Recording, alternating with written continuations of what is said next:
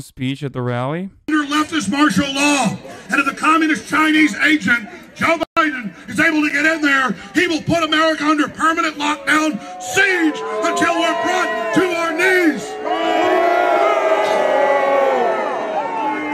Ladies and gentlemen, President Trump, by every metric, won this election.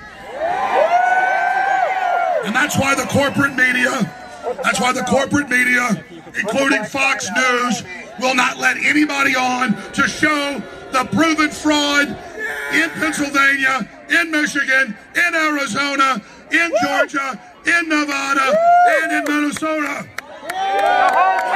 I mean, Trump won by uh, Trump won by zero metrics. Like there is not a single metric that he won in, uh, unless you think like the only states that should be counted are states in which he won. You know what I mean? Like I love that they're shitting on Fox, possibly because I mean he won our hearts. That's true. Trump did win our hearts, especially with the with the coming out as a bisexual in the last uh, week of his rallies and the double dick sucking dance. Like I, I think that was pretty tight. And he was like, "I I'm gonna kiss all the boys. Oh, they're so burly. I love them." He won our souls with his dumpy. Yeah, he did.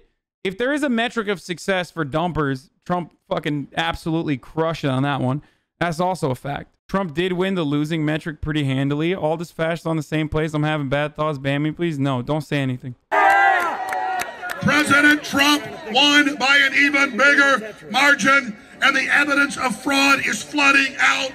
And now big tech, that's allied with communist China, is even suppressing people's text messages because the criminals are scared of you. The truest thing President Trump ever said was, they're not coming after me, they're coming after you. And the globalists know there's been a populist revolution worldwide. They know from Brazil to the UK there's a huge awakening.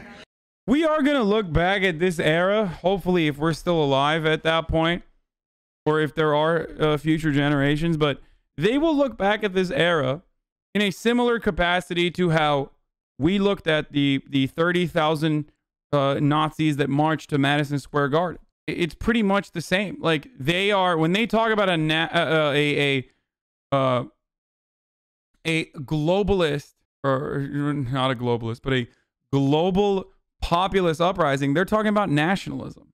They're talking about they're talking about fascism. Like they're literally talking about that when they when Alex Jones says that he's talking about AFD in Germany talking about Orban. Like he's talking about Polish nationalists. So in a similar capacity to what occurred in the 30s, that's happening now. He brought up Bolsonaro, exactly, who is a fascist. Revolution worldwide. They know from Brazil to the UK there's a huge awakening.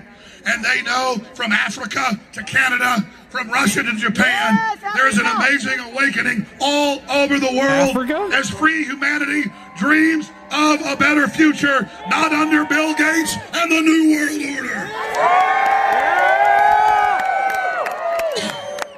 So I want to salute and I want to thank and I want to tell you all you're incredible.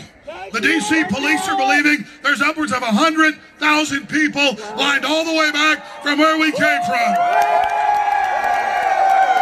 And more are coming, and this is just the beginning because no matter what happens with Trump, it's 1776 time. 1776. 1776. 1776. 1776. 1776. He sounds like the schizophrenics at the psych hospital I work at. I mean, dude.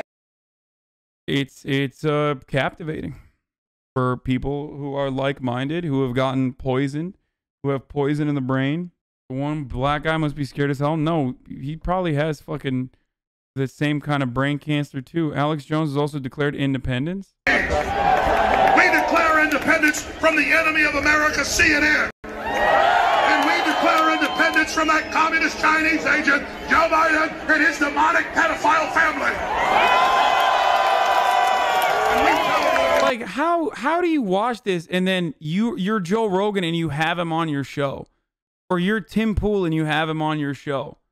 Like you can't you can't cast any aspersions. Like you're you're done. Like when you do that, you can't turn around and be like, "Well, I'm actually a centrist." Like you're not a fucking centrist. This dude is a psychopath. To make fun of him, Alex Jones, eh, Joe Rogan is not making fun of him though.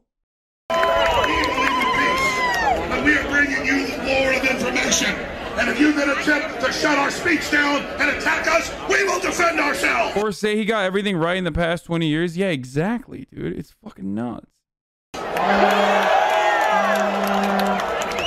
guy named Like I love I love laughing at Alex Jones more than anyone. You already know this. But this dude is a psychopath. Like he his producer asked to have him on my show. His producer reached out to me and was like, Alex Jones wants to come on your show. Let's make it happen. And I didn't respond to him because I was like, I don't want to fucking do that. Like I, I think that that is, I think that is absolutely a a a, uh horrible idea. Like I don't even want his audience. I, I don't want his followers to be aware of my existence. You know what I mean? Like I, I'm worried that if they hear about me, they're gonna fucking try to find me and kill me. Hi YouTube, please subscribe to my channel, HasanAbi. If you're watching this on one of the clip channels, please subscribe to my channel, the original one. HasanAbi, and also ring the bell.